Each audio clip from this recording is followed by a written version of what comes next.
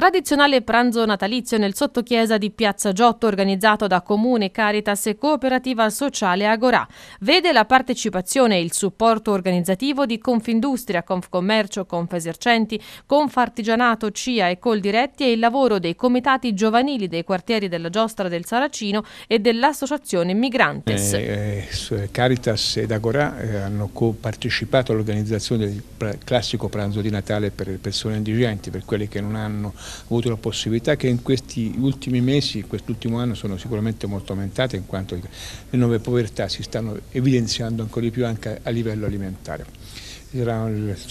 pranzo di Natale nel sottochiesa di Piazza Giotto, eh, chiaramente con, eh, hanno compartecipato numerose figure istituzionali e anche industriali come appunto l'associazione industriali, la Confartigianato, il, la Confesercenti, la, la Confagricoltori, ma la cosa che mi preme segnalare è l'importanza dei giovani in quanto i giovani dei quartieri saranno lì a organizzare la parte eh, di organizzazione eh, gestionale e poi ci saranno i giovani dell'Associazione eh, Migrantes Don Bosco, che sono anche non, eh, non italiani, che invece daranno un contributo nel servire a tavola. Quindi questo è un aspetto importante che dimostra che solidarietà si può fare e si deve fare a tutti i livelli, specialmente in questa giornata, che ci auguriamo che non sia l'unica nell'arco dei 365 giorni dell'anno.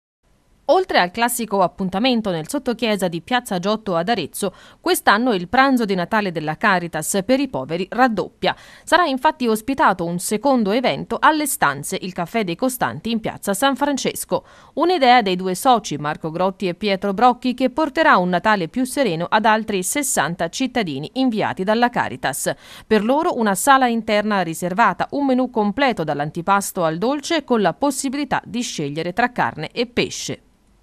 Eh, io credo che il Natale sia un momento in cui c'è una sensibilità maggiore, un, è un momento in cui si notano di più le difficoltà che hanno gli altri, è un momento in cui fare solidarietà è particolarmente importante per dare anche la serenità, dare quel pizzico di felicità a chi ne ha bisogno e chi non se lo può permettere. Purtroppo la solidarietà andrebbe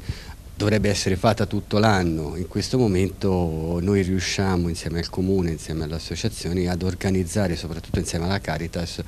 un, un pranzo che ha un significato di avvicinare le persone